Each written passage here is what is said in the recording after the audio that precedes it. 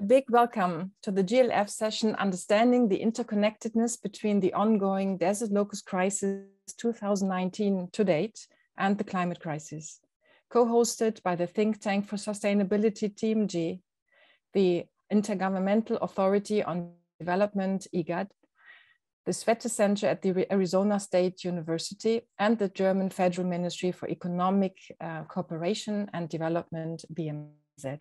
I'm Swantje Nilsson, and I welcome you today to a perhaps at first sight very specific perspective on our dramatically changing planet, that of the still ongoing desert locust crisis.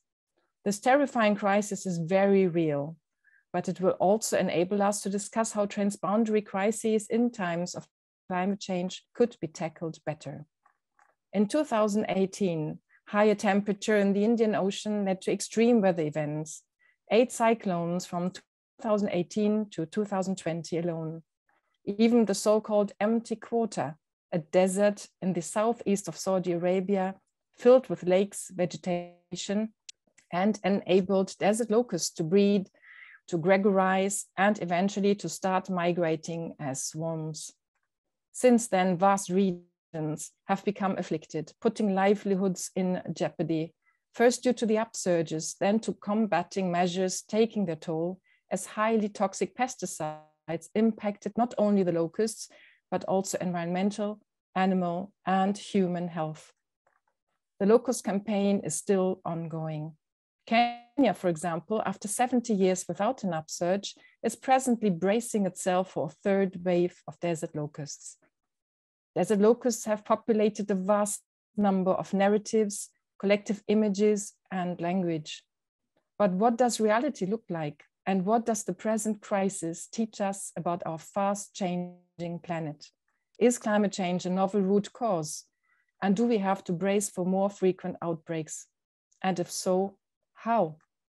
At TMG, we believe that only if we understand the interconnectedness of the crisis better, we can learn to mirror it with the best possible response. Are the systems in place already based on cutting edge technology? Are our responses geared towards resilience? Are the afflicted communities prepared to act the best possible way? Or are emergency measures at times even undermining resilience and spurring even more problems? So what can you expect from today's event? We have lined up just some of the very engaged experts pragmatically dealing with the crisis their feed firmly on the ground with examples from Kenya and Ethiopia, all of them thinking outside the famous boxes and working beyond the equally infamous silos, striving for the best possible solutions geared towards resilience.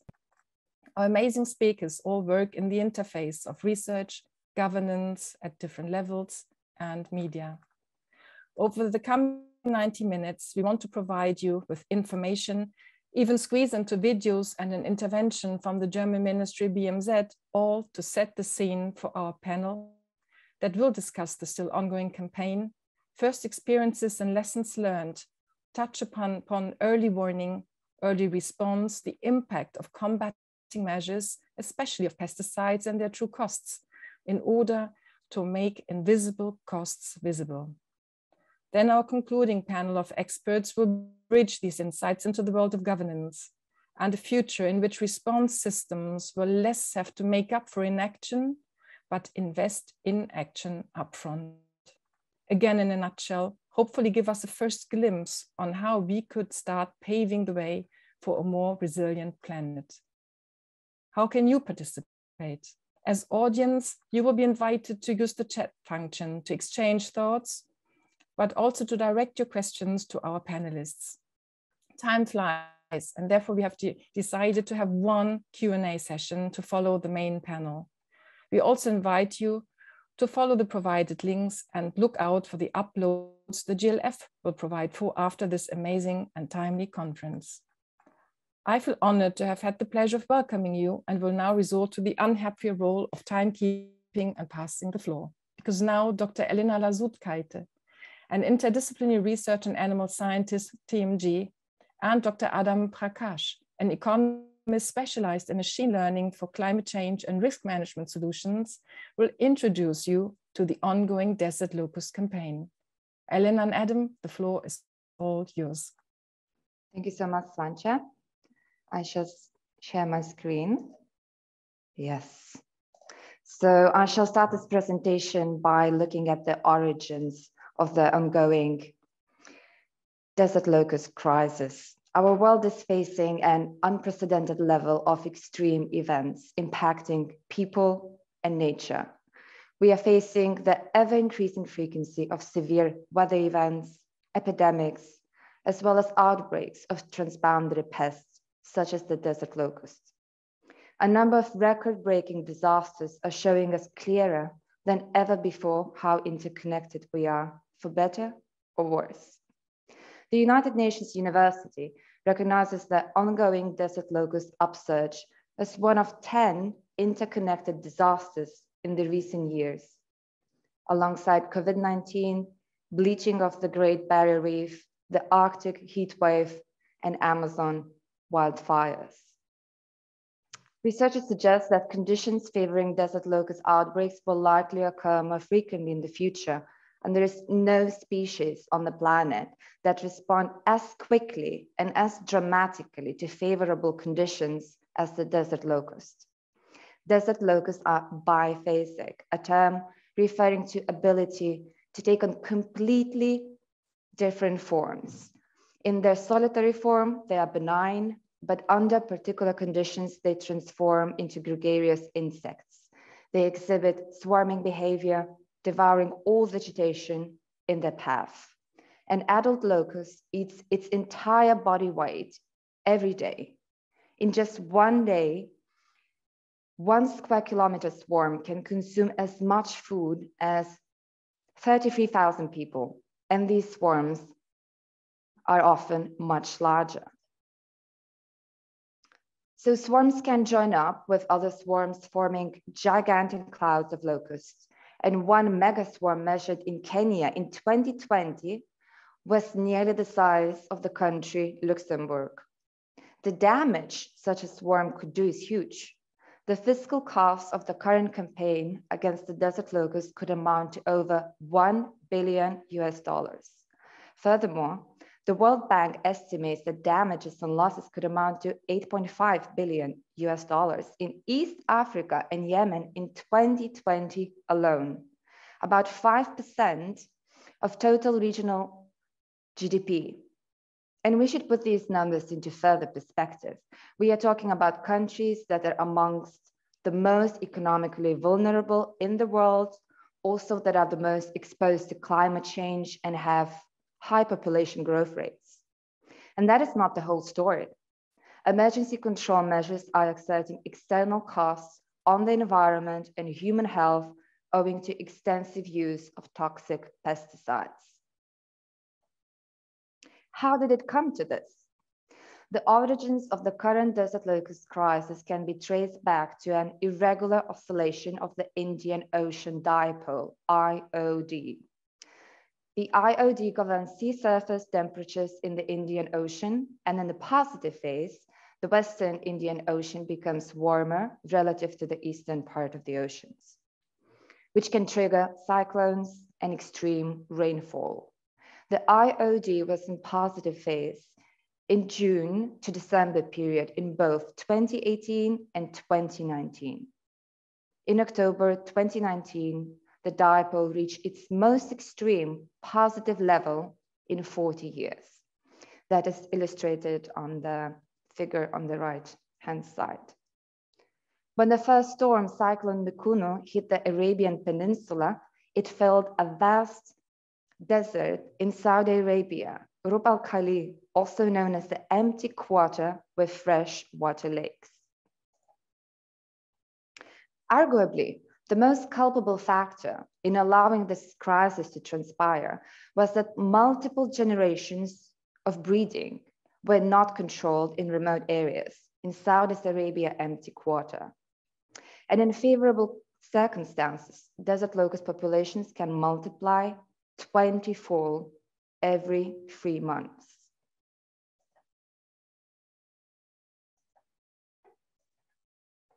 In summer 2019, the insects began to migrate from the Arabian Peninsula into the Horn of Africa. As the locusts moved through East Africa, the region was also hit by unusually wet conditions, as well as more cyclones, allowing the swarms to grow even larger. Overall, the Horn of Africa was hit by eight cyclones in 2019, the largest number in any year since 1976. And locusts are passive flyers, and the cyclones provided winds that enabled the locusts to travel rapidly over long distances at small energetic costs. By the end of 2019, there were swarms recorded in Ethiopia, Eritrea, Somalia, Kenya, Saudi Arabia, Yemen, Egypt, Oman, Iran, India, and Pakistan. And now I shall hand over to you, Adam. Oh, hello, everybody. Um, my name is Dr. Adam Prakash. I just want to thank Elena for the previous slides, which gave us um, some of the stylized facts of the um, ongoing um, crisis, the, the desert locust crisis. Now, I'm going to delve a little bit deeper and come up with some discussion points for the panelists. And um, so first of all, I just want to introduce some key concepts in control. Now, these are all progressive or uh, should we say aggressive um, in terms of what they achieve to do. So at the beginning of the hierarchy, and the, the most optimal solution or uh, control is to have outbreak prevention. Now, this will comprise um, a high uh, functioning early warning system, okay, uh, with lots of technology behind it. Um, we also, in this uh, mode of control, we there are no there is no room for chemical pesticides, the toxic toxic pesticides. We don't have any crop losses, and there are only fractional fiscal and environmental costs. Now, moving on to the next one, orange. So we're a bit of a dangerous territory. And the reason is that we use chemical pesticides to control disparate swarms from developing um, into upsurges and plagues. So uh, yes, the primary control method is chemical pesticides, toxic again. We have crop losses and the costs to both um, government budgets and the environment, they begin to escalate. And then finally, um, red, this is the country's last line of defense. When you have a swarm coming over your country, all over your borders, the only thing that one can do is to unleash huge amounts of chemical toxic pesticides. We have huge crop losses and there are massive, massive fiscal and environmental costs and also to human health imposed under this um, type of control. Now, moving along, as I said before, um, in the current campaign, it's been the last two methods of control that have actually exemplified um, what has happened to date over these past few years. So again, I've alluded to the use of toxic pesticides um, there's a list of them, and they are all highly toxic according to PAN. Now, the status quo, what has been going on, is no longer tenable. The reason is because climate change is with us and it is expected to trigger more frequent and intense transboundary outbreaks of locusts and other pests.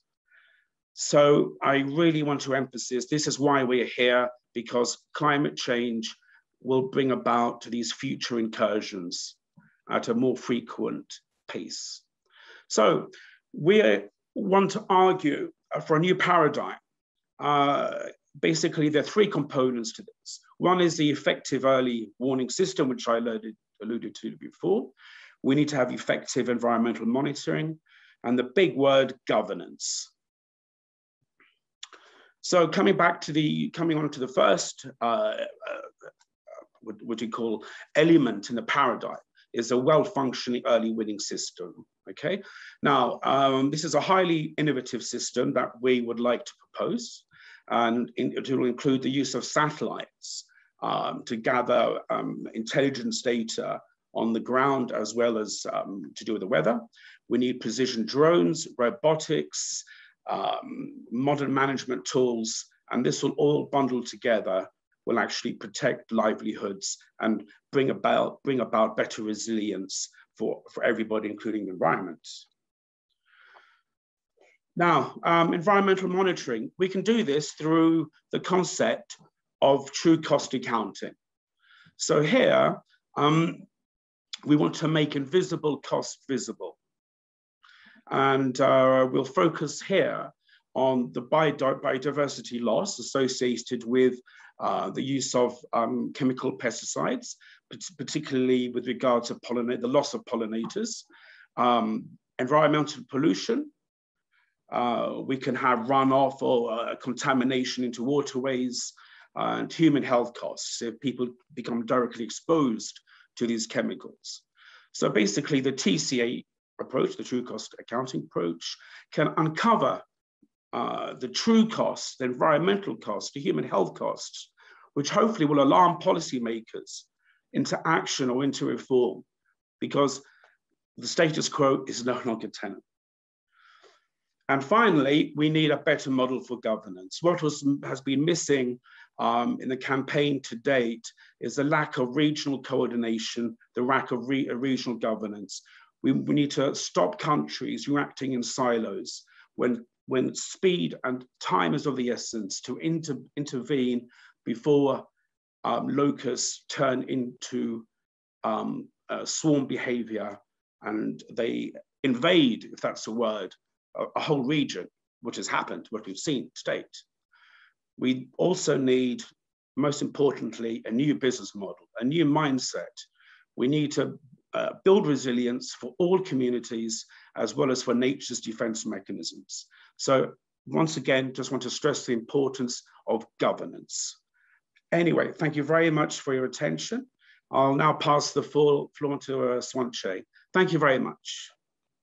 Um, so thank Elena and Adam, for at least having tried and started with your presentation. Now we have the honor um, to, to greet Sebastian Lesch from the German Ministry BMZ. He's in charge of sustainable agricultural value chains, international agriculture policy, agriculture and innovation.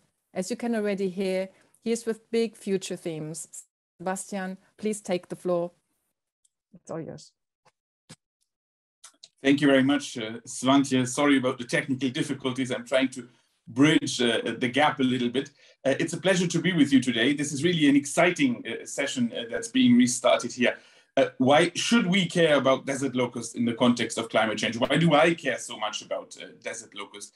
Um, Germany is the second largest bilateral donor. So, of course, what we have is a huge investment in the area of rural development, agriculture, food security. It's one of only five core topics that we're following uh, as a ministry. So, obviously, we have an interest in the sustainability of what we're doing. Now, we're looking at multiple crises. There's a food crisis, hunger crisis, there's climate change, there's a biodiversity crisis, there is COVID, of course. So it's obvious that uh, the result of the work that we've been doing in terms of achieving SDG 2 is acutely in danger.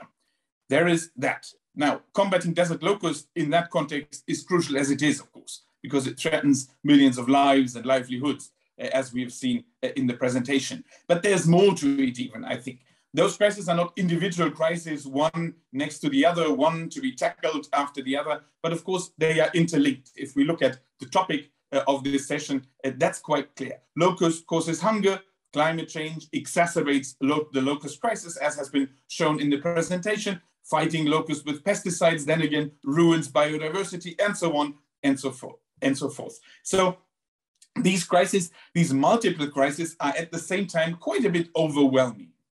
Now, what we need to do, of course, is we need to be breaking down those global conversations that we're having, not least in Glasgow right now, about all those crises. We need to break them down to individual cases in order to be able to tackle them. And I think Locust exemplifies that particular situation. Now, I'm not a scientist. We'll be hearing from scientists uh, later on, and we're supporting them uh, passionately as a ministry. icipe uh, is among them.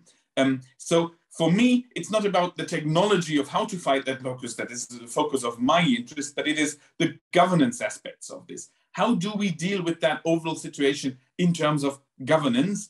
Um, and that's interesting, not only in terms of locus, but that's interesting, of course, in terms of a scalability. Any result on that can be potentially applied to other crisis situation or multi-crisis situations um, as well.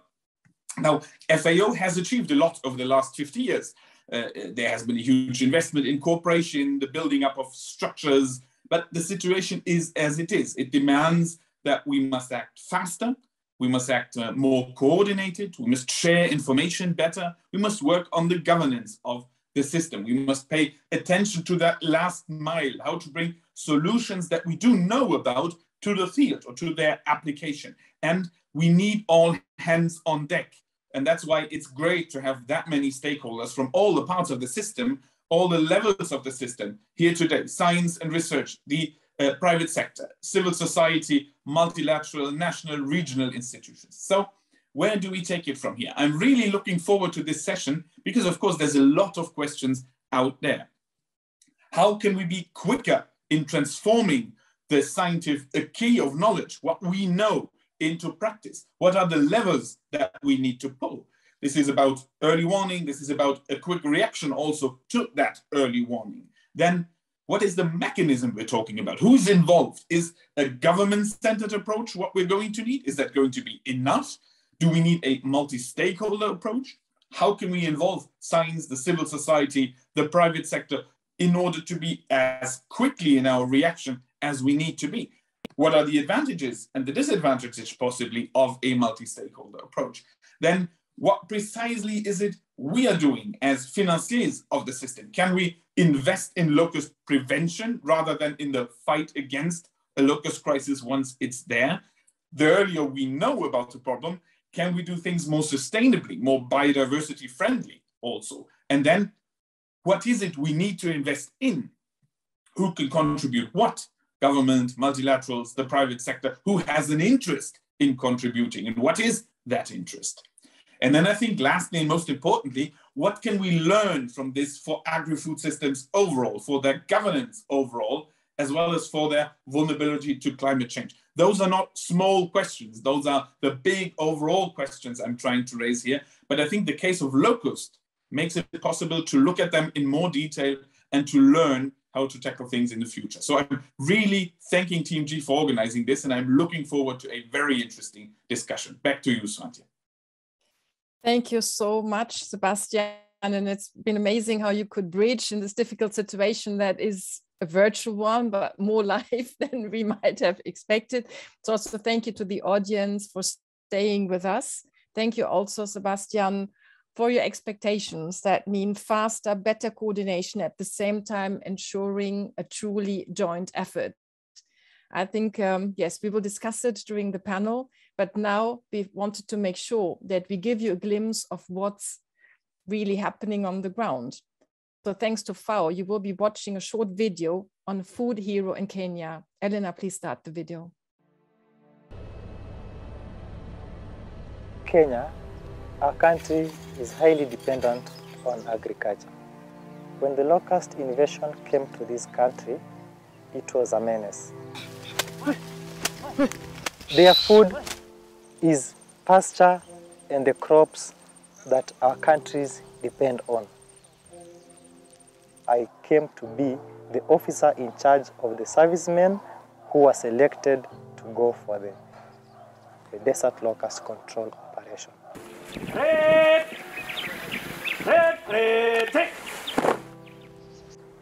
Since these desert locust menace came into our country, the National Youth Service has been in the forefront and the delivery has been so well. Do you know what is the best time for spraying? When a family goes to the farm and what they had farmed has been eaten up by the desert locusts, this means there is going to be hunger. If the grass that they depend on for their cattle, sheep and goats has been taken or eaten away by the desert locusts, this means there will be reduction of the meat and the milk that these pastoral communities depend on. We were trained on how to gather information on their behavior, on their movement, and how to even fight them. We leave for the operation at around 5.30 so that we can reach the fields when the sun has not heated up. On reaching the field, we have to know the specific swamps that are there, how large the swamps are, which swamps to target first, any information that we get on the ground. We put it down in the application and we forward it to the center, command control center that is with FAO. If the National Service didn't go outside there, the kind of destruction that we would have experienced would have been vast.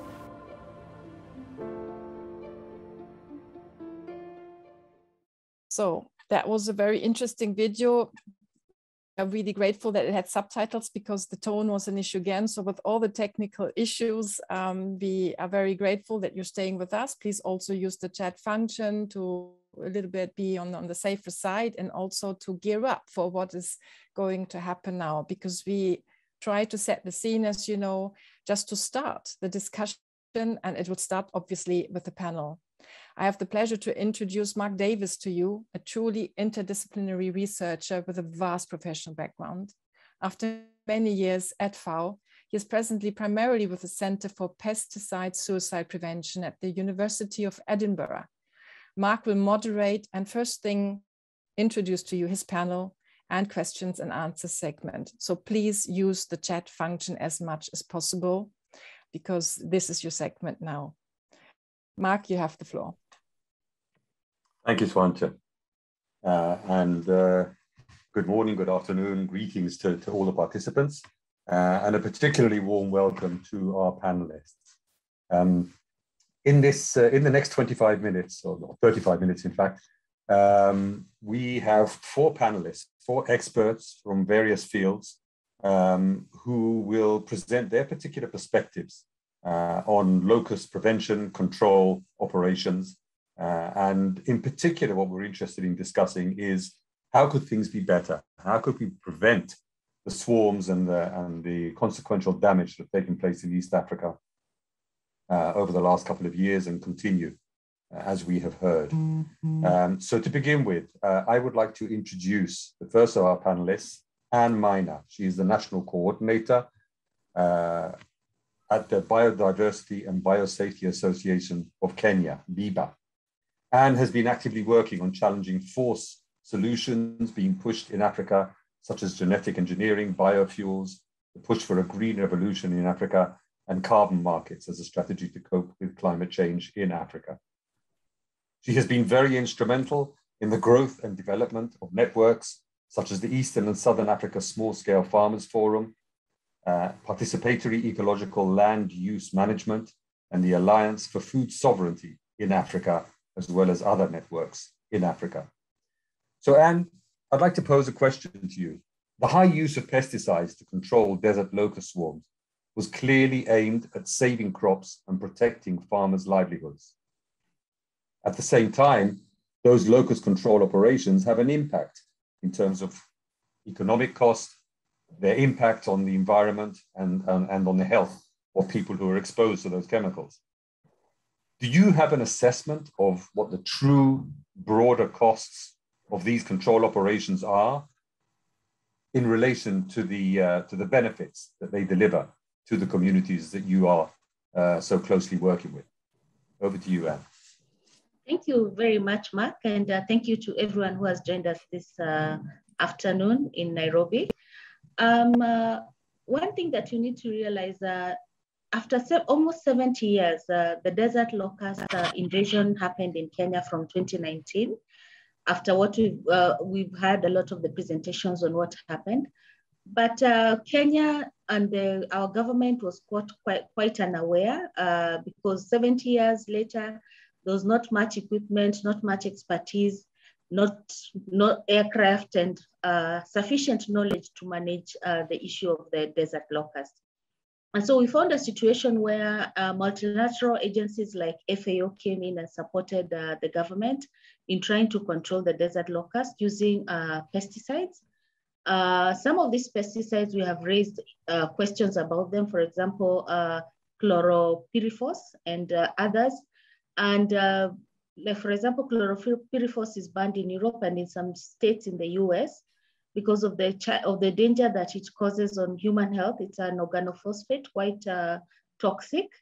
And so in terms of looking at uh, the, the, the dangers that happen to the biodiversity, to the environment, we saw cases of, of communities reporting um, loss of pollinators, for example, bees. What was happening is that the desert locust affected a lot of the northern part of the country, where we have uh, high hotspots where there are lots of bees from stingless bees to the stinging bees and all these, and a lot of uh, honey production.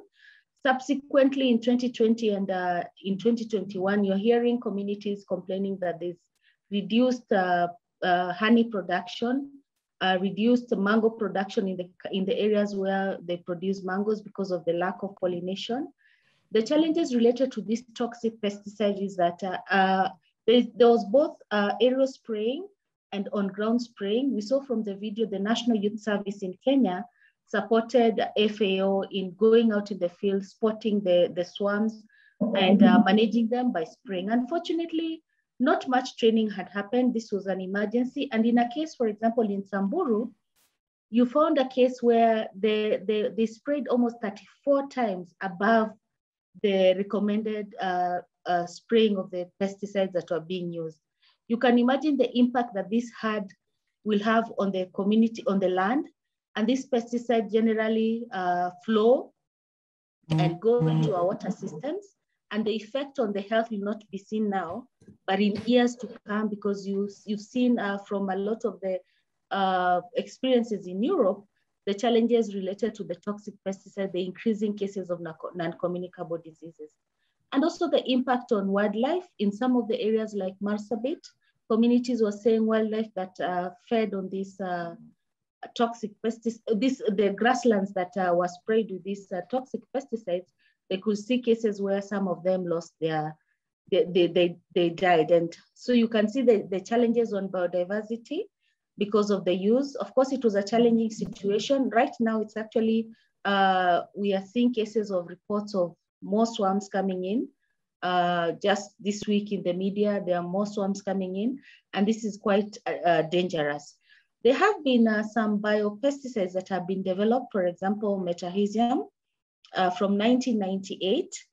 unfortunately, this is, most, this is said to be a slow working and works on the, on, the, on the younger hoppers, on the younger population. And so one of the other challenges you see is that companies are not ready to produce this. And it's the multinationals which are producing the likes of uh, chlorpyrifos, uh, and others which are being used in spraying uh, the desert locusts. And so the impact is there. Uh, there was a study that was commissioned by FAO, an assessment uh, on environmental impact of spraying uh, the toxic, uh, the, the locusts. Unfortunately, this is not yet public. And so the costs you can see and the cost and the impact of the spraying will take, we will see it many years to come. Uh, we are currently conducting a study on the impact on some of the communities you're working with. And uh, this, this we hope will be able to show some of those impacts. But already communities are, are reporting such cases of reduced uh, pollinators and uh, loss of biodiversity. Thank you. Thank you, Anne. That's, uh, that's very informative and, and, and quite concerning. Um, let's let's see if we can put that into a, into a slightly broader perspective and see what can be done in terms of prevention. I'd like to move on to Emily Kimathi. Emily is the geospatial research officer at the International Center of Insect Physiology and Ecology. Emily has vast experience in the use of, uh, of GIS, uh, global uh, geographical information systems, Earth observation and geospatial modeling tools to enhance crop insect pest risk monitoring and early warning systems for integrated pest management she holds a master's degree in climate change and adaptation, a bachelor's degree in, in geography, and a postgraduate diploma in project management. She recently published a research paper on predicting prediction of, of breeding regions for the desert locust in East Africa. Uh, so this, um, this paper that you have published um, in relation to the advancement in satellite technology, machine learning, remote access, using drones and robotics. What do you see, Emily, as, as the future for the prediction of breeding sites, early warning, and early control of locusts to prevent some of the problems uh, that we've just heard Anne Maina describing? Over to you, Emily. Okay, thank you so much, Mark. Uh, it's an honor to be part of the discussion. Uh, so uh, ICIPE, which I'm part of, is a, it's an international research organization whose major mandate is to uh, research and develop, uh, you know, alternative pest management strategies. And uh, ICIPE has been part of the desert locust work decades before the invasion uh, even came to East Africa. So there are so many technologies that have been developed by ICIPE, one of which is the biopesticides. Uh, you've heard about the metarhizium and uh, the semiochemicals, so many technologies and ways to harvest the desert locust. So the modeling and uh, geoinformation team uh, at ICIPE uh, came up with an ecological niche model. So I was uh, I was part of the of the sorry I designed the, the, the model. So we came up with a model to try and understand uh, the ecological niches of the breeding sites of desert locust in, in East Africa. So as you've heard, uh, it was quite new. It was an, an, invasion that had not happened for many, many years. So we did not have any field observations as at the time we were Uh, conducting the research to, to come up to understand the, the niche. So what we did is we leveraged the data that had been collected by FAO, uh, the Desert Locust Information Service. They, they have a huge archive that they've, they've collected in the Sahel region and uh, the Middle East and Western Asia. So we tried to, do, to come up with a model to try and understand what are some of the ecological variables that are, are favorable for the breeding of the desert locust. And through that, we were now able to project those conditions into East Africa to try and understand which are the similar, uh, the regions with the similar conditions uh, to that. Uh, this model was very successful. We were able to validate the model using the data that has been has now been collected over time. And uh, for sure, uh, you can you can there's a huge correlation between the regions where the invasion happened and the and the and the areas where the model showed a very high suitability of desert locust. So there's a huge potential to leverage the data that we have, the field observation, the satellite data that is available to us to come up with models uh, to, to predict. Because uh, as much as we may have all these technologies that have been developed, we need to understand in time to be proactive to know where we can channel uh, these interventions.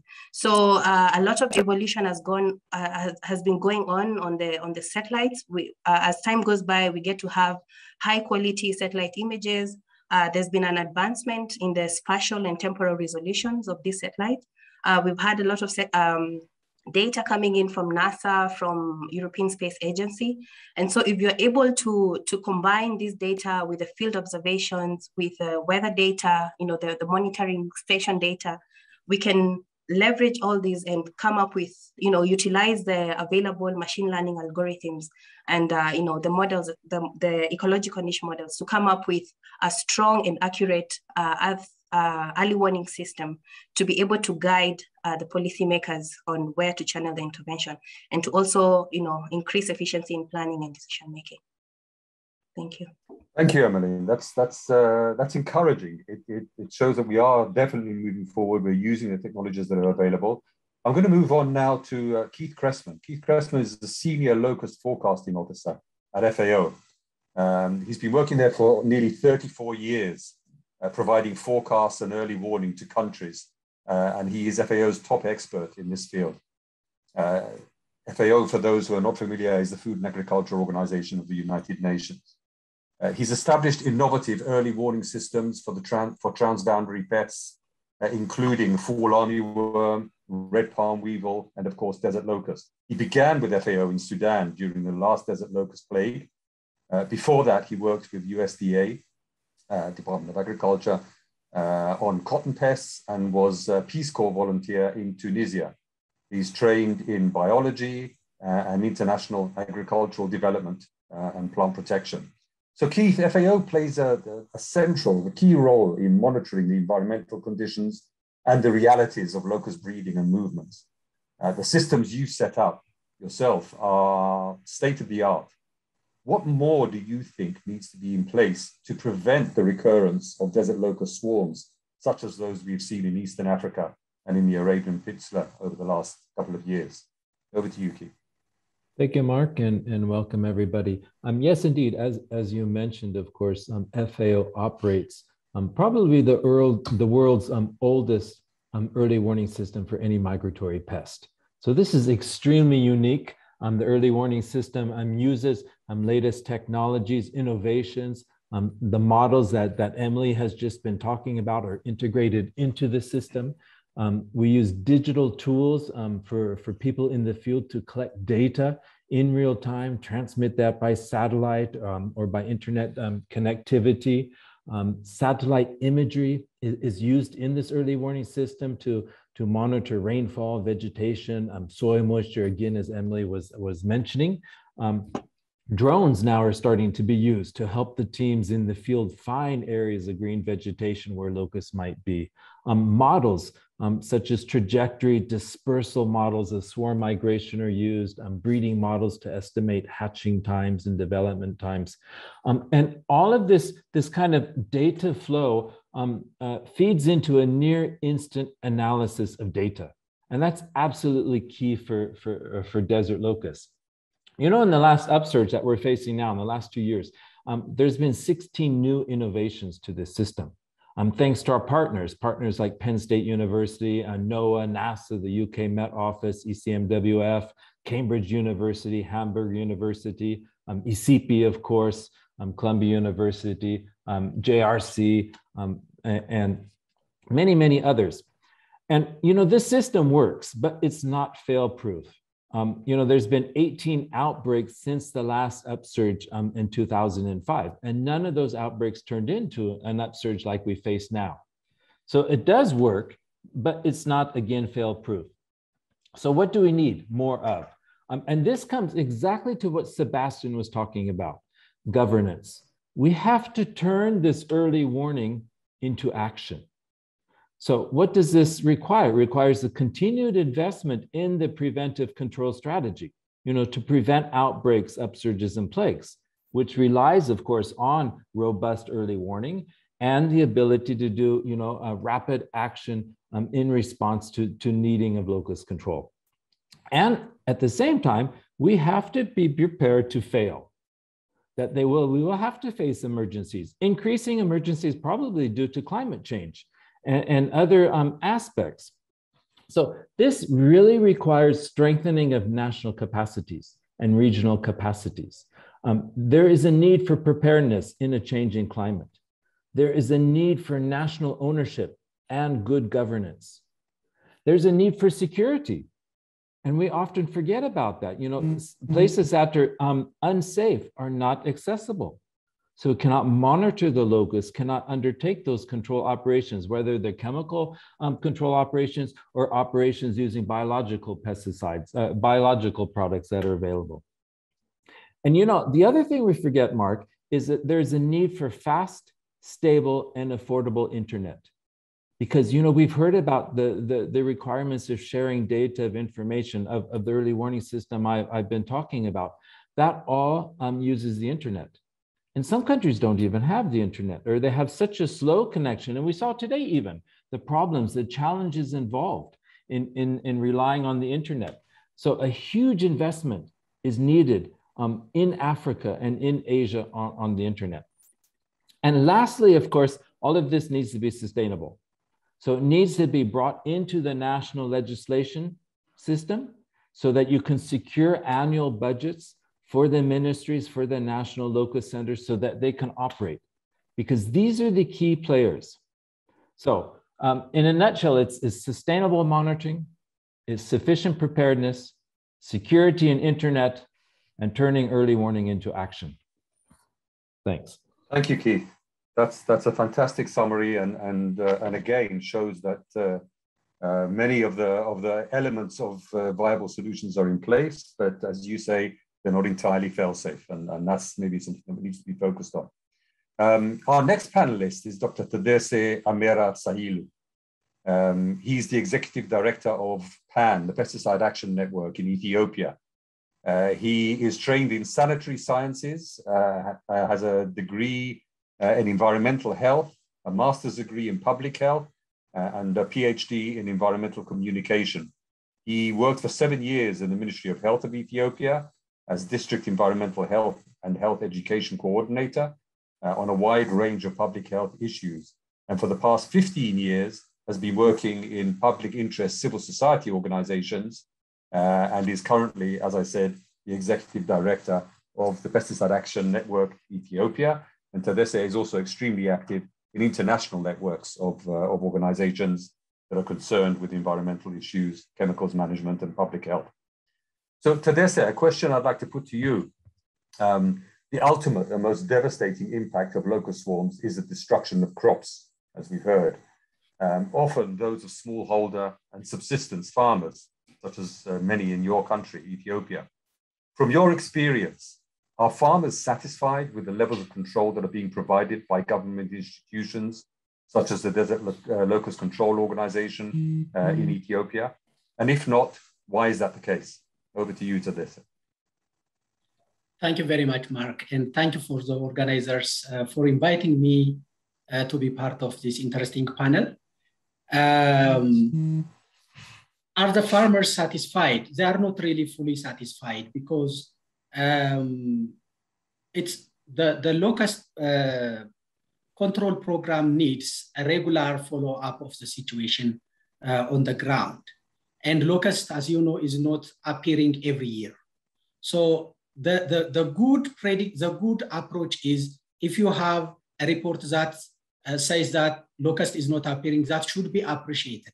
But the system fades up and uh, funds are not really satisfactory for uh, early warning, scouting, and for, for following up uh, monitoring. And also uh, in making uh, awareness creation activities at the communities level. And when the communities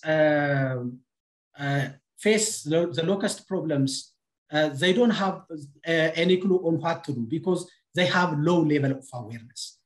And in some areas, what we face is when uh, the locust, uh, the first instars appear, especially the pastoralist communities hide because if they report, they feel that the, the pesticides will come and there will be high amount of spraying uh, in their grazelands and the cattle will be affected and uh, human health will be affected. So by the time they hide, uh, the swarms uh, will appear and it will be uh, gregarious and they cannot hide it. By that time, the thing is that they fear the aerial spraying and high amount of pesticide application comes and uh, all the grazelands and cattle and human uh, together with the locusts will be affected with uh, pesticide application. As you know, the pesticides that are used for a swarm are really very dangerous and highly hazardous to human health, cattle, and the whole biodiversity. So the, the, the, the, the, the thing is, the problem is making the communities well aware of uh, early warning systems, reporting when the first instars come. And if they report that uh, in, at early stage, that will be controlled in those small areas uh, mechanically or with um, a few application of pesticides and uh, even they can be part of the process. But this is not well uh, organized. And uh, there needs to be well organization of this with the communities, uh, making them aware of early warning and early reporting saves uh, them from uh, the, the, the fear that they have of high, high amount of pesticide spray. So all in all, the, the, the communities, the farmers, and especially the farmers where they experience the, pest, the locust appearance every year are not really fully satisfied, but it's possible to make them satisfied by making them aware and by creating awareness and by making them part of the system in reporting. Um, and if they are involved, it can be reported by phone and it can be reported even with the local agriculture uh, department system and that can be early uh, managed. So uh, this is a gap for the LSO and Ministry of Agriculture not to satisfy the communities in that aspect. And this is one uh, thing that I would also recommend uh, to tackle this problem. Back to you, Mark. Thank you so much, Tadesse. That's that's really interesting. That's you know the farmers need to be involved. Otherwise, in fact, they can work against the initiatives that, that governments are trying to uh, to implement. Um, so back to you, Anne. In fact, um, the, uh, the, the the control of locusts obviously is done by national, regional, and in some cases, as we've heard from FAO, global institutions. Do you think that farming communities are sufficiently consulted and engaged in these processes? Uh, and how should they be more closely involved? Thank you once again. Um, like in the case of the desert locust, um, when, they, when the first swarms were spotted in 2019, um, farming communities, uh, there was no time, or rather, I think it was not, there was not sufficient time to consult them. And generally, uh, the communities are not well consulted because uh, what you find often is that technocrats, policymakers sit in the, in the cities uh, or in the counties now, we have county governments in Kenya, and they make decision and they say, we are going to spray. Uh, the bringing in of the National Youth Service to, to help in scouting and doing that was a good thing because it would help in that kind of communication. But you find that communities in some areas say that uh, the, the swarms came, but uh, there was no uh, there was no one to consult with. There was no one to, to inform about that. And at the end of the day, they came, they ate them, they grazed on the, they ate on the pastures and they destroyed the crops and they moved. And the communities are left there suffering. I think it's important, even as we deal with other uh, challenges that come in. For example, we have uh, we've had in the past like issues related to the fall armyworm and all those. Uh, the government, our national governments develop systems where proper consultations are done with the community. Sometimes it's an emergency situation, like in the case of the desert locust. And then 2019, 2020, we had the challenge of the COVID-19 pandemic uh, with the lockdowns uh, staying for months and uh, people not being able to share that information easily. Uh, we also have a challenge uh, with the, at the ground because uh, our county governments and the national governments, because of the many challenges that they are facing, not much uh, money is put into hiring of extension officers. So the extension officers previously used to act as the go-between or the agent there who would uh, notice a lot of these challenges and pass them on to the, to the government at the national level and uh, react to them. At the regional level, I think IGAD uh, has been doing some a lot of work on uh, issues of uh, locusts, even FAO, and at the at the international level, linking and uh, that information sharing. But a lot more needs to be done in terms of inform of communities being able to inform uh, the scouting, the consultation, because also communities, quite often people find uh, local communities uh, rather assume they don't know what's going on, but the communities are able to give a lot of feedback. So that participatory research is very important. And I'm happy that ICIPE is here because uh, that's one of the things I think they have been quite strong in. Uh, for example, the development of the push and pull technology and others. And so calling upon uh, that more collaborative research to support and uh, help in some of these challenges and uh, that are that are coming in, for example, the desert locust situation. Thank you. Thank you. Um, and so we are hearing uh, we are hearing that the, what you're saying uh, from the experience in Kenya is very similar to that from Ethiopia, uh, and this is important. Communities, farmers need to be involved in these processes uh, and not uh, just considered as victims um, that are uh, entirely in the hands of, of government or regional organizations that are institutionalized to, co to control the locusts. Um, I'd like to come back to Emily. And um, you mentioned that there was a long gap between the, um, uh, the last lo uh, lo desert locust uh, swarming outbreak in Kenya. Uh, 70 years, you said. Um, of course, it's extremely difficult to maintain the institutions in that interim period. Uh, and you, you spoke about that a little bit. Um, so I'd, I'd like to you know, come back to that and say, well, what do you think needs to be done in order to maintain those institutions and, and ensure their effectiveness uh, in what could be extremely long periods uh, of recession. Um, and to add to that, in fact, there's a question from uh, an audience member, uh, which maybe you can respond to as well. Which the question is, is the ongoing upsurge showing geographical and temporal patterns of invasion that can be considered different from past plague periods of desert locust? Um, so if you could uh, quickly respond to both of those uh, questions, I'd be very grateful. Over to you, Emily. Okay, thank you. Thank you so much, Mark. So yeah, for sure, like uh, like I said, and Anne has also alluded to it, that Kenya uh, as of 2019, we had not experienced any invasion. So there was no infrastructure that was uh, set up at the time. So there was a lot of panic, there was a lot of reaction uh, mechanisms to manage it. So uh, you know, moving forward, we've seen uh, sort of a cycle of uh, the, the, the, invasion. So we had the invasion in 2020, and currently we have some swarms that have come in from, uh, from Somalia. So uh, as of now, the, the, the governments and uh, other partners uh, need to, should have come up with a very strong early warning sorry, infrastructure to be able to manage the pest. So uh, speaking for ICIPE, I would say a lot of research efforts have been done to try and uh, come up with you know alternative ways of managing the pest.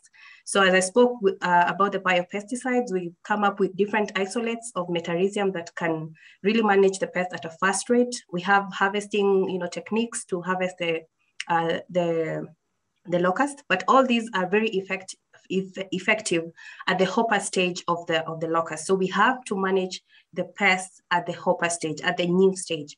And these also assist in the reduction in the amount of the pesticide that we need to apply in these regions. So what I can say is that there needs to be a lot of synergy between, uh, between the governments, because remember, this is a transboundary pest. This is a pest that cuts across boundaries. So, uh, you know, the swarm that comes in Kenya, obviously this uh, comes from uh, Ethiopia and Somalia. So the way in which Somalia and Ethiopia manages the pest will have a huge impact on the level of infestation that comes into Kenya. So uh, we need to you know, break the silos, as you had uh, uh, alluded before. We need to break the silos. We need to work together as a team. There needs to be a lot of coordination, a lot of communication, a lot of outreach to the people in the area to understand uh, what needs to be done. And the early warning, the early warning is the start of everything. It's the linkage between all these four effective harvesting, effective application of pesticide and, and the pheromones and all these wonderful technologies that have been developed, we need to have a very strong uh, early warning system. So from my side, what I can say, you know, to tackle such a dangerous pest uh, like desert locust, we need a very strong coordination through effective communication, monitoring, near real-time early warning, proper governance, all that to ensure, uh, you know, effective application of interventions. Uh, to answer the question from, uh, from, the, from the chat, uh, well, uh, our model as of now, it was more of a static model, but we are still working on uh, do, uh, developing a time series analysis to try and understand the trends that have been going on, you know, in the in the region to see if there's there's a there's a pattern. But definitely, even by looking at the, at the updates from FAO, you can see there has been a trend. We had uh, the first outbreak in the uh, towards the last uh, December of 2019. We had another outbreak uh, at the last same case in 2020, and we can see some uh, swarms coming in uh, in November, which means there's a projection that, that there could be more swarms coming in towards the end of December. So there's been a trend uh, but we're still working on the models to try and understand the, the models, uh, the, the trend and also focus on what could happen in future. Thank you. Thank you, Emily. And, and great to hear about the work that the ICIPE is doing and, and the fact that you're there doing this, this kind of research. Keith, I'd like to come to you with two questions from the audience. Um, one of them is, is, is asking, um, is climate change going to change the range uh, of these pests and the, and the breeding sites? Uh, and another question from the audience is, are there similarities or parallels between, um, for example, armyworm invasions and desert locusts that you can uh, relate to? Over to you, Keith. Sure. Now, of course, you know, un under climate change, the scenarios are um, increased temperature, and, and that's fine for desert locusts. Um, but much more interesting is the increased um, frequency of severe um, weather. In other words, um, heavy rains, widespread rains, cyclones, and these things. And, and these type of severe weather events, this is what um, trips kind of a normal situation into, into a locust emergency. What, what moves a, a locust outbreak to, to an upsurge level. And we've seen this in the past as very well um, documented, demonstrated. So if we start to see, for example, more um, cyclones um, coming into the Arabian Peninsula or into the East, um, East Africa because of that Indian Ocean dipole, dipole then likely we will see an increase of, of locust um, upsurges in East Africa. Now, in addition, of course, climate change may have some impacts on wind patterns. And, and that could um, then, you know, carry locusts to, to new areas places where locusts normally don't go to now because you know they they migrate with the winds. So I think there's a lot of research that still needs to be done on on climate change um, impacts um, on desert locusts. Um, but I, I, think we, we, we can be um, uh, we understand that you know locusts have already gone through climate change probably several times in the past, and they've done quite well. So um, we, we need to better understand then, you know, what impacts those will have on, on our um, strategies and our um, preventive control um, measures that we take. Uh, now, the, the other question, um, Mark, sorry, remind me again, what was that? Uh, are there any parallels between other migratory pests such as armyworm and, and, and locusts? Ah, yes. Um, you know, initially, when armyworm came into Africa in 2016 and started spreading throughout Africa, there's a lot of parallels with locusts because you know our worm was extremely migratory. They set up um, monitoring systems. They they had notions to forecast um, armyworm movements. But the great difference between armyworm and desert locust, for example, is that armyworm now has become a resident pest. It's just another pest that's on that long list of, of pests and diseases that farmers have to manage in, in her crops, you know, every year. And, and that's different than, than desert locusts. As you heard Emily said, you know, locusts have have um, affected Kenya twice in the past 70 years. Um, very, very different than armyworm. Armyworm will be in, in, in, Kenya, of course, every year. It's not much more of a migratory pest now. It has become a, a resident um, pest. But, you know, all of this points to, I think, um, Mark, that, you know, there is a lot of technology and techniques and models and, and, and these things that people um, are working on that are integrated into the early warning system. Um, you know, some of the best modelers in the world are, are working on these things and they're finding that it, it's really challenging. You know, desert locust is a very clever um, uh, pest. So we can't just think that, you know, gizmos and technologies are, are going to be the magic silver bullet here. You know, as um, Tadesse mentioned, you know, more awareness of communities, of national authorities, of even international partners, um, getting uh, villagers um, and communities and farmers involved in the monitoring system would be absolutely um, key, I think. I think that's one area that we can uh, improve upon. Um, another area is, is, you know, building that very important human knowledge, that human capacity because it, it, doesn't matter how many fancy technologies we have if we don't if they're not being used sensibly by us as humans th then we could um, end up making some very poor decisions and, and, that could be costly. Thank you very much keith and i think those are really important messages that feed well into uh, coming back to Tadesse maybe. Um, Tadesse PAN has been critical of, of uh, the heavy use of pesticides for uh, uh locust control. Um, and uh, we've heard about the importance of engaging uh, communities. I'm just wondering, I mean, this is, and this is going back to some of the, we're getting many questions in from the audience and unfortunately we're, we're rapidly running out of time. But maybe you can say something about this. Are there any farming techniques? Have you found that some farmers are more resilient in terms of uh, the impact of pests such as locusts or other migratory pests? Um, are there crops that maybe these pests are not going to eat? Uh, that maybe are worth farmers considering um, to protect their livelihoods. Um, and again, uh, coming back to the, the points that Keith just made, um, how can we engage uh, the donor communities and, uh, uh, and other international organizations as well as national governments to create more effective prevention strategies so that we don't see these massive upsurges and the impacts on farmers? Um, so over to you, Tadesse. Thank you, Mark. Um, first of all, the, the, the first failure is um, locusts are not, as I, I, I, said earlier, locusts are not appearing every year. And there are times that countries did not experience locust appearance for five to 10 years. Um, looking at this, governments and donors may be fatigued to finance the system, the scouting, the regular monitoring. Uh, it doesn't appear for the last five, 10 years, doesn't mean that it will not appear. If you miss for a season, a disaster will come. And that disaster is not only for the country, it's also for the neighboring countries, as has been said. If something happens in Yemen, it will be for the whole uh, Horn of Africa. If it appears in Kenya, it's for the whole Horn of Africa and even it goes beyond. So there should not be a fatigue of the donors to finance the regular monitoring systems. Uh, the regular monitoring system can be established with uh, scouts uh, in locust prone areas. We can have local communities, part of the local community to scout regularly and to report. And when they report, they don't see any uh, indication of locust coming, that should be appreciated. That should not be something negative. What we want is not to see locusts. But if locusts are not reported for 10 years, donors, government officials, they don't want to finance that. And when locust comes, a lot of money is coming in, and vehicles, and technology, and everything. So this should not be uh, the case, and it should be reversed. The second one, what I suggest is also establishing uh, an early warning system to be consistent, even in years that do not have locust.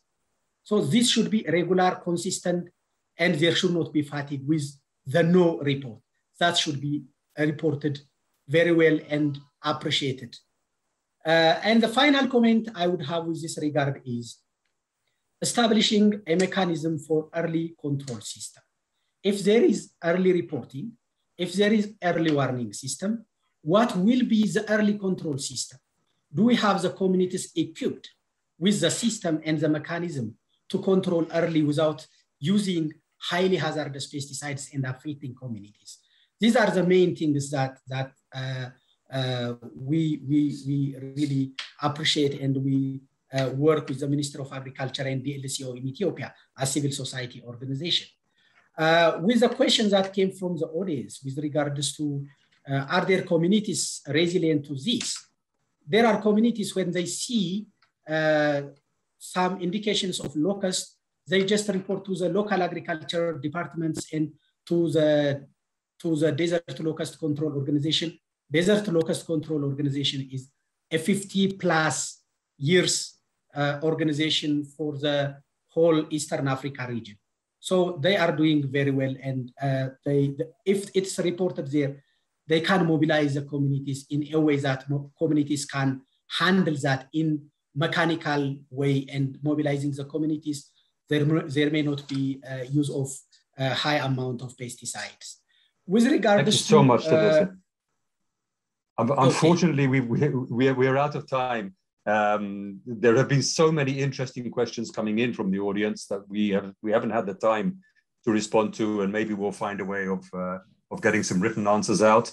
Um, the input from all of our panelists, um, from uh, Adese, uh, Amera, from Keith Cressman, uh, from Emily uh, Kimera, and uh, Kikimati, and from Anne Maina, um, have been informative uh, have been very complementary to each other. Uh, the messages are strong and clear. Prevention clearly is better than having to deal with the locust by spraying pesticides into the environment, um, but maintaining and sustaining those uh, effective prevention measures needs input from many sectors um, that at the moment is not entirely sustainable. Uh, and that's perhaps where the focus needs to be in the future. Um, I thank all our panelists again for their time and for their important contributions to this discussion. Uh, I wish we had more time to continue. Unfortunately, I now have to hand back uh, to uh, our facilitator uh, and uh, to continue the discussion and allow some of the other speakers we have on board to present their perspectives. Thank you all again. Thank you so much, Mark. Thank you to you and the panelists. You have just been amazing. And yes, it's now becoming a lively discussion and we would like to continue. In fact, we are a little bit running late, but just due to technical problems. So we've been allowed to extend the session a little bit and please stay with us, also the audience. I also want to just ensure that everybody is aware of that there will be links um, mentioned in the chat. So you will maybe a little bit later, if you find time for it, uh, be able to access also the presentation that you could not fully enjoy because Elena and Adam had to stop it due to those technical um, problems I just talked about. We will also try to inform you via the websites, the GLF and the TMG website, including a white paper that we provided for this session. So you will be able to learn more and also hopefully to engage uh, with us. So now, uh, before we uh, hand over to the last and concluding panel, uh, we want to follow up with a short documentary. And I think it's just spot on when I listened uh, to the uh, discussion between the panelists um, and also Mark. And that's a documentary on disaster resilience by the Intergovernmental Authority on Development, IGAD. please, Elena, start the video. Can I just check if you see the YouTube? Yes, but uh, you can enlarge it, please. Yes.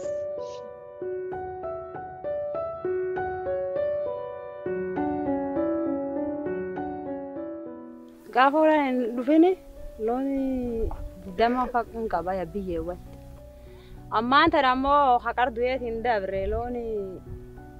lama ciisan This story is not unique in East Africa. The region often faces multiple hazards at the same time. The region is disaster prone and vulnerable to extreme conditions like droughts, floods, pandemics, and outbreaks like the desert locust. Climate change is making the situation worse, bringing more frequent extreme events to East Africa. shinu sharunduka nga papa nola atayo ola atayilawo khatsomuta ngehenga ngenzi basi. Masalose wala mamayo khatsomuta nemiha nalolelela izyo In the past, responses to these disasters were mostly focused on solving the crisis after an event like this would happen, rather than trying to prevent the impact of a disaster. To reduce impact of disasters, IGAD Disaster Risk Management Programme focuses on changing the way of thinking from reactive to proactive. For example, IGAD has founded the IGAD Climate Prediction and Application Centre that, among other things, optimizes early warning systems. IGAD has also created training programs and teamed up with other organizations like Red Cross Society of Kenya. hadda si kastoo wax kastoo dhan waan qabsan karnaa. Sidii hore ma aha. Hadda wax kastoo dhan faa'iidada aan ka heli karno waan kasaynaa marka wixii aan faa'iido ka helayno waan garanaynaa. Wixii hadda faa'iido annaga khasaarta iyo faa'iido aan ka kala helayno hadda faa'iido oo ilmo ku beelan karno.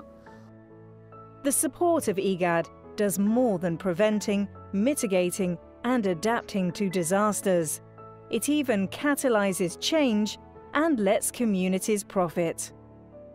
oo xoolo ka gadan karno oo dan kale aan ka qabsan karno ilmo iskuul kala bixi karno dugsi aan kala bixi karno waan garanaynaa hadda mirta hata mirta la abuuraayo say u kala faa'iida leedahay hadda waan baranaa waan kasaynaa marka hadda jiilaalkii wixii la abuuranaayo iyo waktiga roobka maaragta iyo markii aad biyo haysatid mirta la abuuraayo midii marka suuq leh iyo midii faa'iido aan lahayn aad baan u kala kasaynaa hadda wax kastoo dhan waan baranay IGAD reshapes risks into opportunities for better lives in the IGAD region.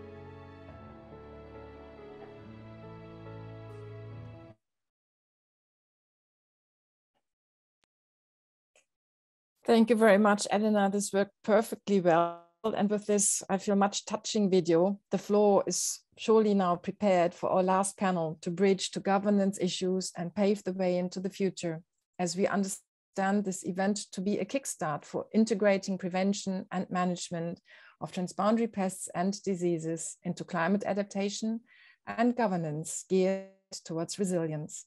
Let me personally thank you for today the audience, the panelists, everybody active and behind the scenes, including the technical support and interpreters, and hand over to Alexander Müller, founder and Managing Director of TMG, to conclude this event. I wish you all a good day. Alexander, you have the floor. Thanks a lot, Swantje, for introducing me. I received the message that I cannot start my, now I'm back. Thanks a lot, Swantje, for introducing me. Uh, we are now in the closing session of this side event called Understanding the Interconnectedness between the ongoing desert locust crisis 2019 until today and the climate crisis. And I'm really happy that in this closing session, I have the opportunity to discuss the ongoing desert locust climate crisis, but also the implications for the governance of adaptation and resilience together with two real experts and friends First, let me introduce to you, to you Kathleen Merrigan. She is the Executive Director of the Swette Center for Sustainable Food Systems at the Arizona State University. And Dr. Ahmed Amdihun, a Regional Program Coordinator for Disaster Risk Management at the International Authority on Development, uh, Climate Prediction and Application Center. With both, I would like to have an interactive debate about what have we learned from this event and what are the consequences beyond the topic of desert locust in the region. Let me introduce the debate with a very few sentences. The desert locust outbreak, the, the, the desert locust plague, is adding additional threats for, vulnerable, for vulnerable people and negatively impacting their food security. We have seen the evidence, we have discussed it, and the movie made it very clear. But we know that because of changing climatic conditions, because of the climate crisis, this is not only a local or a regional problem, this is a topic which is intrinsically linked of how, to how we are dealing with climate change.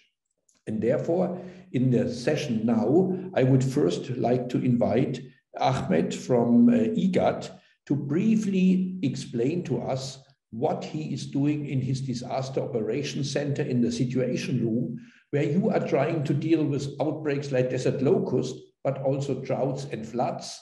And then I would like to invite Kathleen to discuss with the two of us what kind of governance is needed so that we can broaden our understanding of adaptation to climate change and integrate outbreaks like desert locust and other species.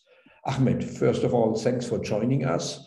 Please, could you please explain what are you going to achieve with your regional operation center? How are you dealing with the challenges and what lessons can we learn? Over to you, Ahmed, please. Uh, thank you very much, uh, Alexander. It's a pleasure also for me to join you today uh, in this interesting discussion uh, about um, the interconnection, the nexus between climate change and also the desert locust. Uh, let me start by um, bringing to uh, the attention to your attention that things are really, really important to be considered to be starting from a policy and strategy perspective where I'm coming from, the Intergovernmental Authority on Development, the most important thing is now uh, uh, the regional strategies and policies, the national strategies. Are they really uh, up to the job, up to the task, up to the challenge?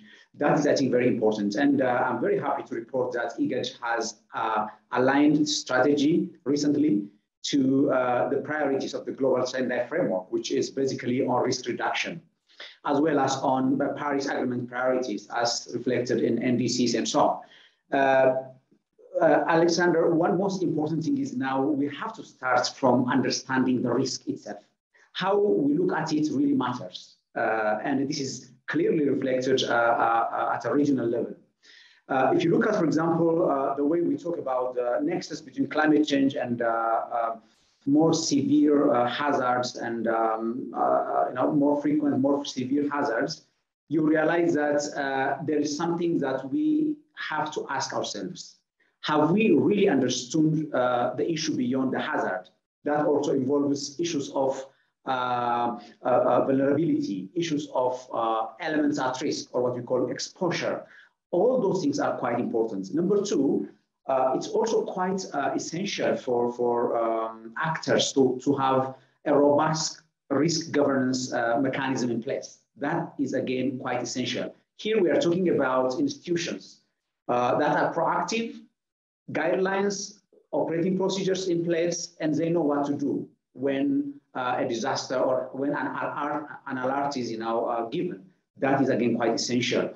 Uh, just two points. Uh, one is on the investment side. I think uh, a colleague from FAO has raised it. Investment on resilience is quite important. Uh, here, Alexander, if you just look at the East Africa region, the story is quite, quite mind-blowing. It's billions and billions of dollars on emergency response, while preventive and uh, risk reduction, early warnings, anticipation, all those are funded at a few millions. I think this narrative has to change. As you have, as you have heard from the video also, the documentary, we are re really, really interested to change this narrative. More investment on anticipation, prevention, and mitigation of uh, uh, the disasters and their impact. That's quite, quite important. Finally, uh, the preparedness aspect, I think, has been said uh, several times. But preparedness is not just for um, an impending disaster. We have to prepare also for response, how we respond properly uh, and promptly to uh, any impending uh, disaster. That's why actually we have uh, just launched our situation room a few days back.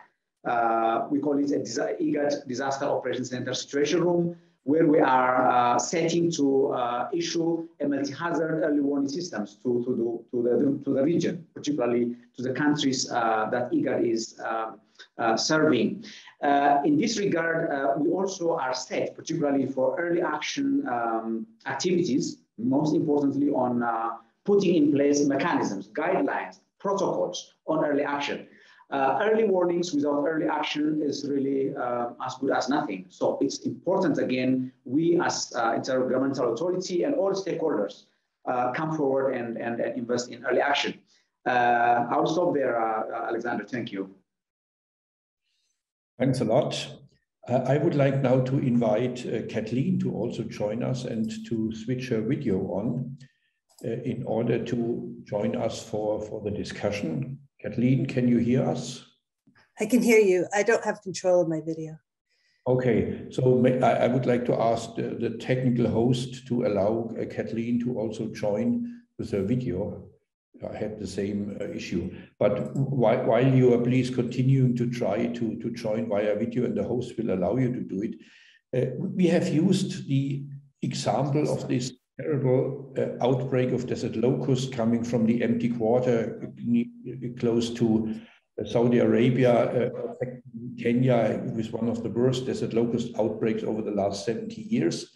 And we have heard during the debates that we will have to face other and more frequent outbreaks, and they are related to climate change.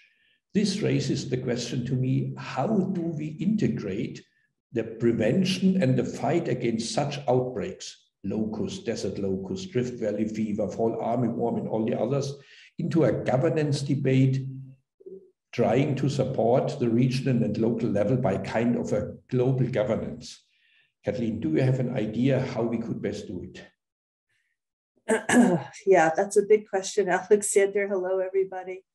I mean, I certainly want to start by um, agreeing with what has been said this idea that uh, how do we move from reactive to proactive? And uh, the locust is just uh, an amazing example of how we haven't figured this one out in terms of global governance.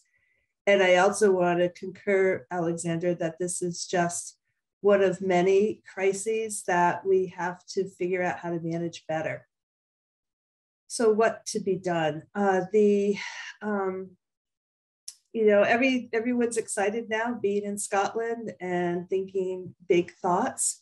The problem is everyone goes home and there's not enough teeth in the different kinds of agreements that we um, come to.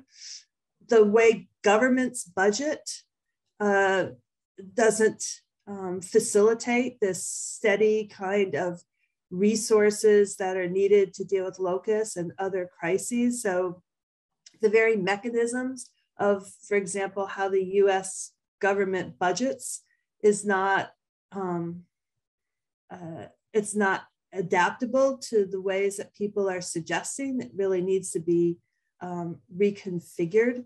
So it's a bigger problem than locus. Uh, so I'm just reasserting that.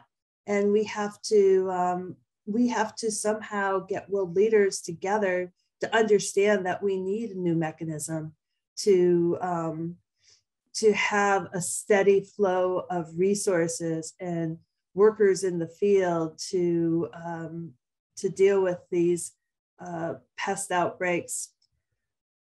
The um, the the challenges, though, to get them to agree are just immense because as you and I have talked about before, the sort of new kind of international governance is almost no governance at all. And so we're really taking a blank page in some ways and asking people to be very creative. I do want to uh, do a shout out for my colleagues at Arizona State University. People may not realize, but we have a global locust network that's run by our Global Locust Initiative. But this is not governance uh, using governments, it's really a research network. They have 150 members from 36 countries trying to connect stakeholders and intelligence about locusts. They have a private platform uh, cleverly called Hopperlink, so people can reach out to ASU if they want to join that. But that's not going to be the substitute for the, the big kind of global governance call that you're making.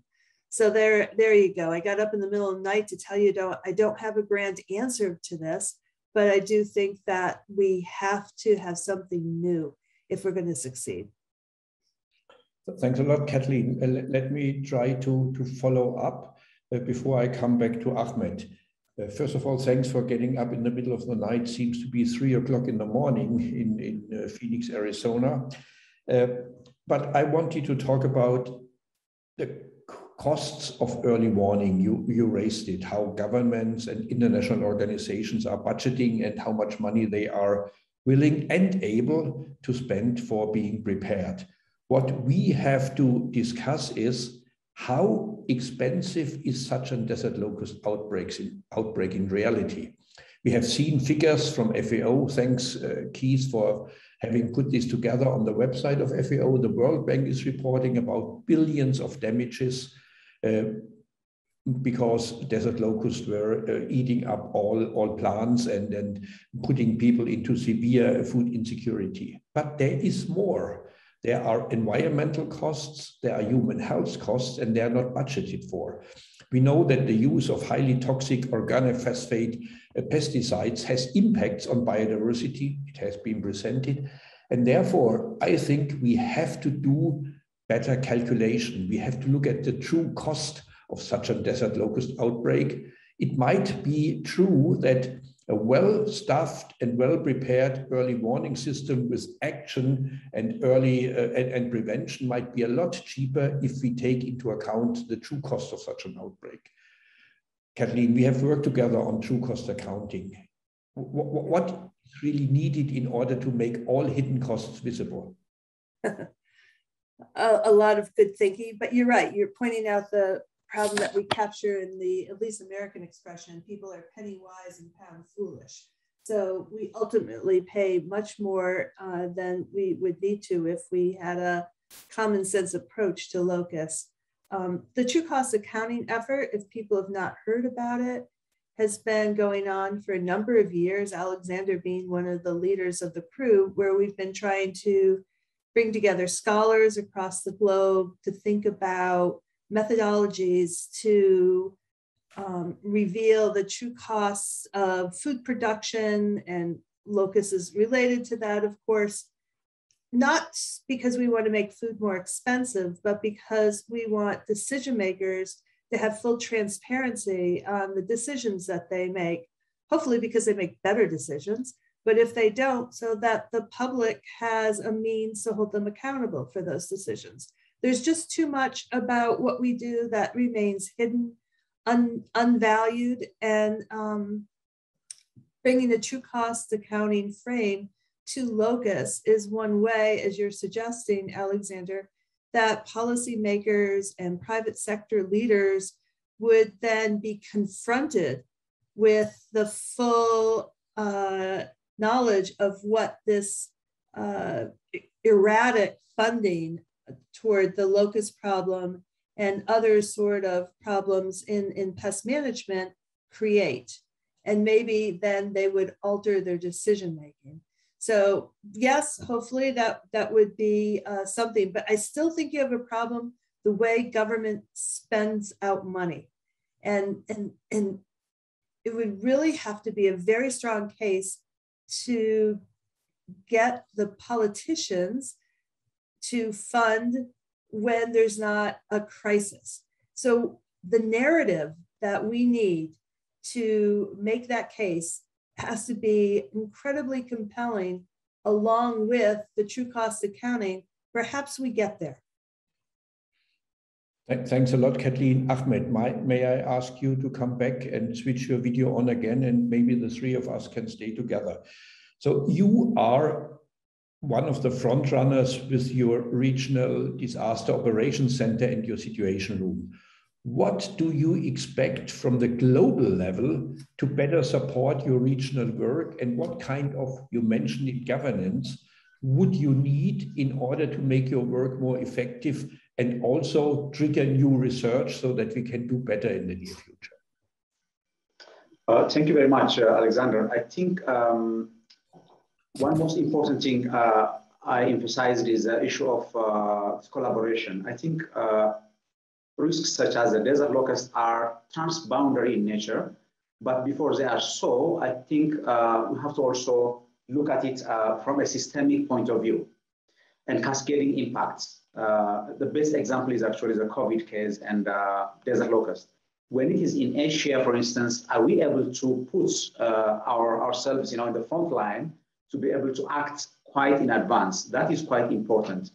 Uh, coming to your question, Alexander, um, when we talk uh, about um, global partnership, I think we have great ideas, as I have uh, explained, particularly in putting in place uh, anticipatory actions, forecast-based uh, actions, including financing part. Uh, we really wish to collaborate and advance this agenda of shifting uh, the operations more to crisis management to more of uh, preventive uh, approaches, anticipation and preventing and mitigating impacts before they really uh, take a toll on, or on our economies, uh, on, on the livelihoods, on the assets, key infrastructure, and so on. Uh, if you look at our region, Alexander, um, there are usually multiple disasters at the same time, creating a compounding risk to, uh, to, to, to the low economies uh, uh, in the region. So we would be very happy, particularly to call on, on international partners to come forward and work with um, uh, to try to put in place a robust uh, uh, uh, Uh, uh, uh, preventive, anticipatory approaches to this, to this task. We are very much working closely with the countries and would be happy to collaborate along that line. Thank you. So, thanks a lot. Coming back to you, Kathleen, having heard this strong call from a regional coordinator, and what I would like to highlight is your disaster operations center is not only dealing with desert locust, that's a big challenge, but you're also looking at other climate related, related topics. Therefore, I have the strong feeling that adaptation to climate change has to be thought through in a new and innovative way. So far, transboundary pests and diseases are not really integrated into the adaptation efforts. We do not really think about how to do early warning. We do not really think about what kind of prevention and early action has to be done sometimes in very difficult areas of the world where you have civil war and unrest and you cannot access it. And what we also have learned today is that we have to replace highly toxic pesticides with a huge Uh, impact on the environment and human health by biopesticides. So we also need a type of new public-private partnership to develop less toxic or non-toxic pesticides. Kathleen, this calls for an international process, transparent, inclusive, linking questions of global governance for adaptation to climate change with the regional and national needs. So far, I don't see it. And what we would like to trigger from this debate is how can we kickstart it? Is, what is the, your experience in, in, in, in your current position, but also your previous position when you have been state secretary in the Ministry for, for Agriculture in the United States with these type of, of governance processes? yeah, I'd really love to point to some shining example that's the success story that we can all model off. But I don't, I, I don't know what that is, Alexander. I think it was, you know, 25 years ago or more that I did work at uh, Harvard and MIT in their program on negotiation and did a, a, a case for people to use to think about these issues uh, around the transboundary uh, uh water issue.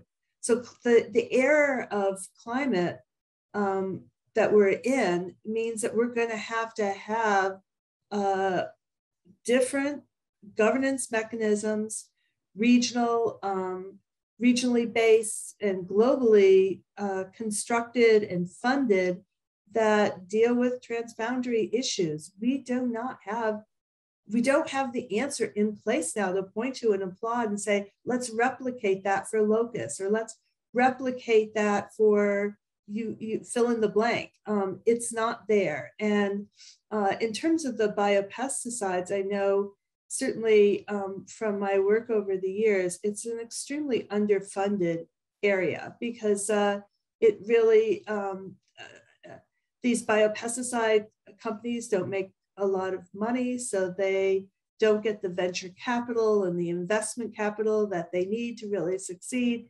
And so you're really looking at small amounts of government funding to really help support the industry, these small research grants. It's just not getting the kind of investment that would ever, you know, come up with the solutions that would really um, you know, knock off the organophosphates as the answer uh, to uh, a locust crisis. So it's not just about early warning systems and a steady flow of resources, people uh, on the ground understanding what's going on, but that whole research uh, domain really needs to be dealt with um, on a global governance level because the private sector in biopesticides needs uh, needs a lot of help to to get to where we need to be. Thanks a lot. Uh, we have three more minutes, and what I would try to do is to summarize it in two minutes, and each of you can add. And Ahmed, you are beginning, please. Your comment in one minute. So my, I'm convinced that we are talking about a very interconnected problem: climate, locust, poverty, food insecurity, cloud, droughts, sometimes floods. This requires a new type of integrated early warning system that allows to globally support national and regional efforts to, to tackle these challenges. And would you, and that's my question to you, would you join an effort if we, after this session, start talking about how can we link early warning highly innovative satellite images and, and uh, machine learning, with analyzing the true costs of such an outbreak in order to make clear that the cost of the action is much higher than the cost of appropriate and timely action. What kind of first step would both of you do? And that's my question, so that we can kickstart such an endeavor. Ahmed, you have the opportunity within one minute to change the world. Thank you very much, Alexander. um, uh, yes, I think that's very, very interesting. Uh, the point is, uh, Alexander, particularly, uh, we have no option. We, we, have to do this all together. We have to use the best available technology, uh, the best available experiences that uh, each of our institutions have, including convening capacities of our institutions, and jointly address this and uh, as I indicated, I think IGAD would be very much um, uh, interested and you know would be happy to collaborate in bringing those uh, high-end technologies in addressing uh, uh, hazards, not in, in, an isolation, but in a more multi-hazard integrated way. Uh, that's actually the direction we are taking, and I really appreciate that we discuss this further. We don't stop it here, and bring something very, very groundbreaking to out of this conversation. Thank you. Thanks, Ahmed. Perfect. Kathleen, please. Well, I think we have to um, get this these transboundary pest issues on the climate agenda. I know in my own country, we're coming um, out with all kinds of investments around climate resilience. And we've got to work on the narrative and the true cost accounting of these kinds of problems to make sure we're on the agenda. Thanks a lot. I would like to close with quoting my former colleague Keith Cressman from, from FAO. He just informed us that the cost of the last 2003 to 2005 upsurge in Western Africa, so three years of upsurge, was equivalent to 170 years of preventive control. 170 years. So if we do a true cost analysis, we will see what has to be changed and how we can improve the livelihood, let's not forget it, the livelihoods of the most vulnerable people here in the world. I would like to thank all of you. We know that climate change is a multiplier of already existing risks. It creates new risks, but we have to be able to work together in finding new answers. And I think this side event and the collaboration between you, Ahmed, and your center, and Kathleen and, and the Swette Center could be a start to try to develop something new. I would like to thank all participants for having joined.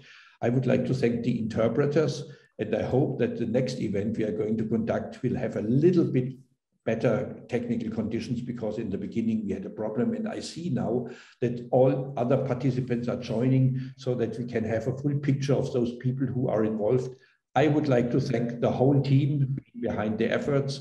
Thanks to BMZ, Sebastian Lesch for having supported us and having uh, allowed us to tackle such a, a, an issue which is not, not, not easy to discuss. I think we all can be happy with the outcome of this event. Thanks to all of you, we will stay in contact and we will try to not only share new ideas, but also work together in order to change things. Thanks a lot. Thanks a lot to all the people behind the scenes for having made this possible and have a good day. Thanks. Thank you so much.